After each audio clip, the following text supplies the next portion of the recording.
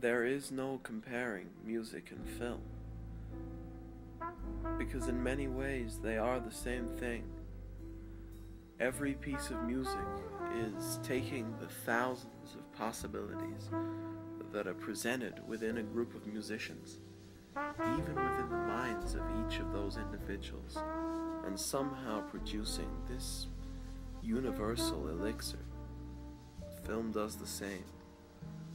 The artistic product only comes after a purification process whereby the raw and varied artistic inputs are combined to create an end product. Both film and music are the distilled essence of the chaotic nature of creativity.